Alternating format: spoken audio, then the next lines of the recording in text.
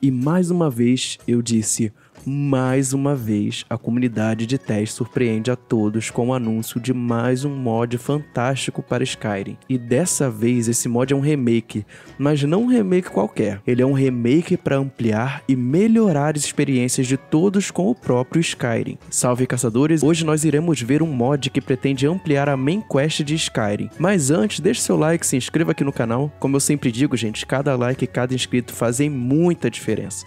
A gente sabe que o YouTube não é mais mesmo, então eu preciso da ajuda de vocês. Vamos tentar bater essa meta de um cada inscrito ainda esse ano? Compartilhe com amigos e, claro, na descrição tem o um padrinho para quem quiser estar tá ajudando o canal. Mas vamos falar do mod. Skyrim Extended Cut. Esse é o nome do mod que abalou a comunidade de TES dos últimos dias. Pelo menos nos fóruns internacionais eu tenho visto muito hype sobre esse mod. E eu mesmo fiquei muito animado. Eu amo Skyrim, eu sei que vocês amam Skyrim também, mas a gente não passa o pano, não é? Sabemos que Skyrim tem diversos e diversos furos de roteiro. Ou vai me dizer que você nunca se frustrou quando a Delfine lá, aquela pessoa maravilhosa que todo mundo ama, resolve que ela é a líder dos Blades e que ela tem poder para decidir se o Dragonborn pode ou não entrar nos Blades. Tipo, que? Minha filha, se manca, se coloque no seu lugar, eu sou o Dragonborn, me respeita?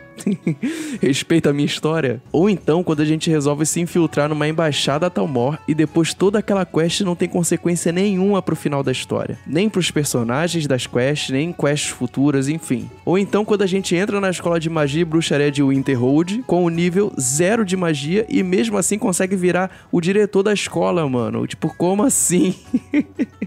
por quê? Por quê, Bethesda? Por quê? Sim, meus amigos, essas coisas deixam qualquer fã de Skyrim muito bolados. Mas aparentemente uma luz se acendeu, novamente, claro, vindo da comunidade, né? O mod Skyrim Extended Cut foi anunciado com um trailer que traz bastante promessa para nós, que queremos mais conteúdo lore friendly no nosso joguinho, né? O trailer deles, eu vou deixar passar aí na tela para vocês umas cenas e algumas que eu for citando aqui eu vou passar também.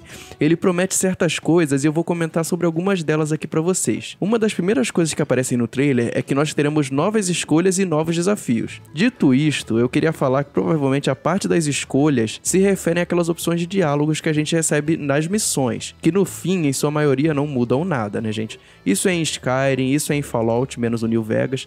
Então, assim, a gente tem aquelas escolhas, aquela listinha, ah, você fala isso, você fala aquilo, você fala aquilo outro, e no final você seleciona, só muda o diálogo e tem a mesma consequência, né? Já que a gente tá nesse assunto, eu vou falar sobre o Paturnax. Pois até hoje, gente, muita gente não aceita que ou você mata o Paturnax ou você entra nos Blades. E os devs desse mod já se pronunciaram que vão mexer nessa parte da história sim, e eu vou falar mais sobre isso na frente. Mas basicamente, eles vão deixar a história mais, mais acreditável. Eu não sei se vai ter uma opção de você unir o útil ao agradável, provavelmente sim, né? Eu acredito que sim, que esse é o sonho de todo mundo, de tipo assim, Delfine, se coloque no seu lugar, eu sou dos Blades sim, e Paturnax, eu sou teu amigo, sabe? Não que você tem que escolher entre um ou outro. Provavelmente eles vão mexer nisso.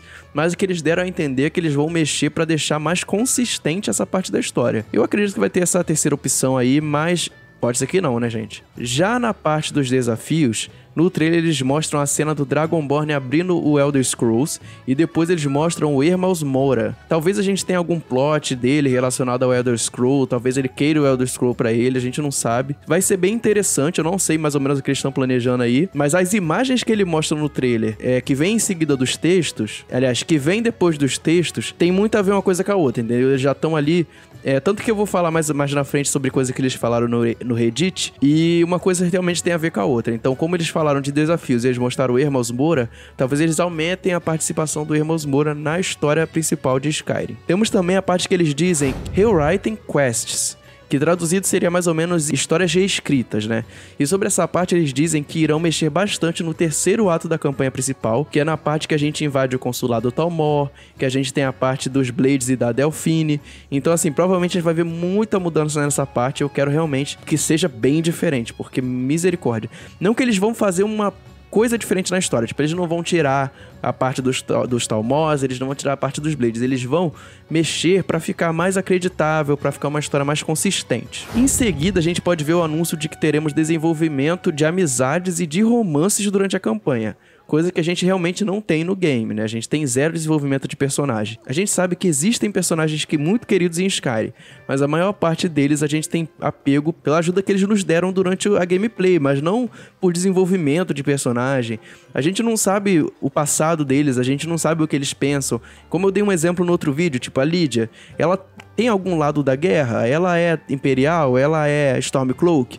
Ela tem algum lado realmente? Ela pensa alguma coisa sobre a guerra civil? A gente não tem esses detalhes, entendeu? Que são coisas que incrementam na personalidade dos personagens. No final, a Lídia, ela é só um follower mesmo, é só um boneco ali para te ajudar. Ela é muito querida pelos jogadores, mas ela nada mais é que um prêmio de uma quest, sabe? A gente mata o dragão e a gente recebe ela de prêmio. Infelizmente, a gente só se apegou a ela porque ela é uma boa follower, ela tanca bem, ela é bem útil, mas infelizmente não passa muito disso. O que eu quero dizer é que ela não tem um backstory, realmente. A gente não sabe a gente não tem diálogos com ela, a gente não faz amizade com ela no jogo, a gente não sabe de onde ela veio, se ela é órfã, se ela é rica, se ela é pobre, se ela é uma entidade do mal que veio para destruir Tamariel e transformar tudo em fogo, sabe? Enfim, talvez eles tragam mais desenvolvimento nessa área, eu espero que sim. Em outro momento do vídeo, eles mostram também que vão melhorar as facções e as cenas que passam nessa hora fazem referências aos Blades. Pessoal, eu só matei o Patronax uma vez na minha vida, eu me arrependo muito de ter feito isso, mas eu só fiz isso para poder ver o que ia acontecer. E depois disso eu dei load no game, sabe?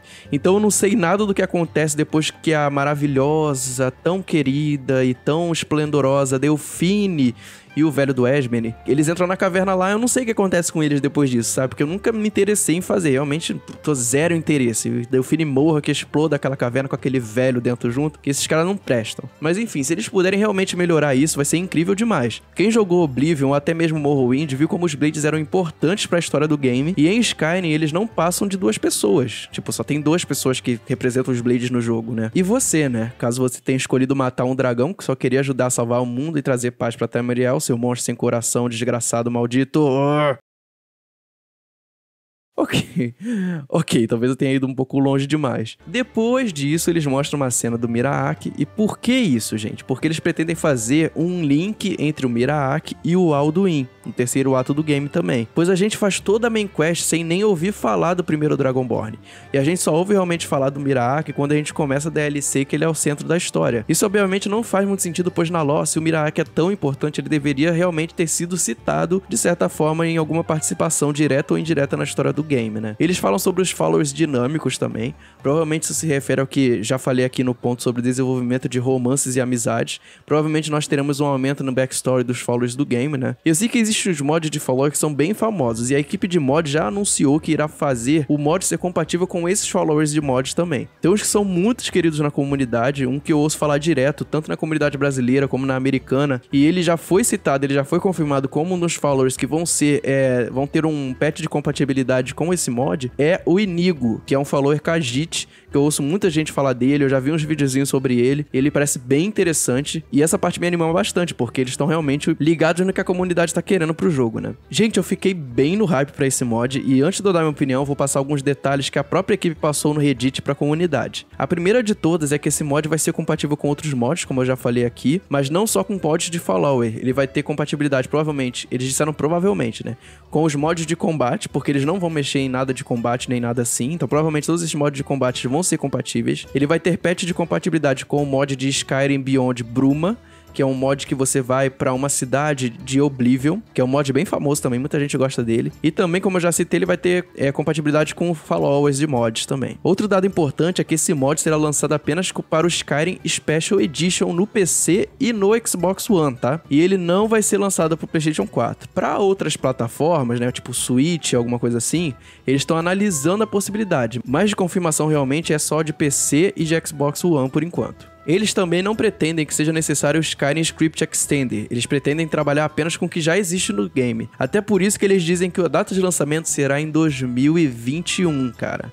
Ou seja, para quem tá vendo esse vídeo agora na data de lançamento, em 2020, o ano que vem já teremos esse mod disponível provavelmente. Então assim, fiquem bem hypados porque esse mod não vai demorar tanto. Isso vai acontecer porque eles vão ampliar o que já existe no jogo, eles não vão criar muita coisa do zero, entendeu? Mesmo assim, vai ter coisa do zero, vai ter nova zona, vai ter nova dungeon, vai ter diálogos novos, opções novas, enfim, vai ter muita coisa nova, mas eles disseram que vão conseguir é, fazer esse mod em tão pouco tempo justamente porque tem pouca coisa para eles fazerem do zero, entendeu? Então, gente, o hype é real. Podem ficar hypados. Eles disseram que conseguiram um time grande de dubladores. Me refiro a dubladores americanos, tá, gente? Tudo em inglês, não é dublagem brasileira, não. Tô falando isso só pra deixar claro. E por isso, né, desses dubladores que eles conseguiram, a gente vai ter 100% de dublagem nos diálogos do game. Por os inscritos aqui do canal que sabem inglês e queiram ajudar no projeto, eles estão buscando as seguintes pessoas para ajudar. Eles estão buscando escritores, designers de dungeon, implementadores de quests e moderadores de Discord, tá? Então, para quem tiver inglês aí, tiver interessado, pode entrar em contato com a equipe para tentar uma vaguinha aí. Isso é uma boa oportunidade para fazer portfólio, tá, gente? Então, quem tiver afim é só dar uma procurada neles. Bom, agora o que, que eu achei disso tudo? Pessoal, eu já fiz alguns vídeos aqui do canal sobre coisas que Skyrim errou e acertou, todos num contexto de comparação de Skyrim com os outros games da franquia, ou seja, Skyrim em comparação com Oblivion, Skyrim em comparação com Morrowind, etc. Esse mod parece que vai ser muito bom mesmo e vai fazer algo que todos sempre quiseram em Skyrim,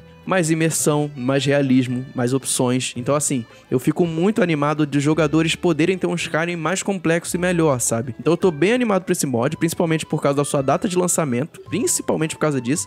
Porque, por exemplo, eu já trouxe aqui no canal um vídeo sobre Skywind, já trouxe um vídeo sobre Sky Oblivion, mas vai demorar anos ainda para esses projetos serem concluídos, entendeu? Porque eles estão refazendo o game inteiro dentro de Skyrim. Eles estão pegando um game de fora, que não é um game, não é Skyrim, né, no caso, e eles estão refazendo esse jogo dentro de Skyrim. Mas esse mod, ele tá refazendo o Skyrim dentro do próprio Skyrim. Ou seja, já tá tudo ali, já tá tudo pronto. Eles só precisam retocar e eu espero que fique muito bom. Bom, essa é a minha opinião sobre esse mod. Eu espero que vocês tenham gostado no vídeo.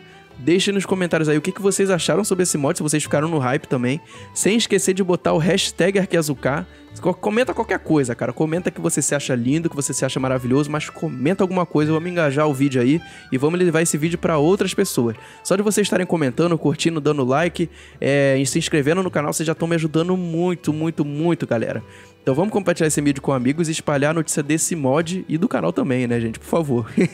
e antes de eu terminar esse vídeo, gente, dá uma passada lá no Instagram, me segue lá, me segue lá no Twitter. Eu não posto muita coisa no Twitter, tá? Mas no Instagram eu tô começando a postar bastante coisa. Inclusive, eu postei é, todo o processo que eu fiz para a edição desse vídeo, desde a gravação, do, aliás, desde o roteiro, da gravação, da edição e de postar. Então me segue lá no Instagram, eu deixo também eu abrir esses dias para vocês me fazerem perguntas. Então me segue lá no Instagram que eu tô fazendo tudo isso lá e com certeza quando eu fizer um vídeo especial de 1K respondendo perguntas de vocês, eu vou pedir as perguntas lá no Instagram. Então me segue lá. E é isso, pessoal. Espero que vocês tenham gostado do vídeo e a gente se vê no próximo. Tchau, tchau.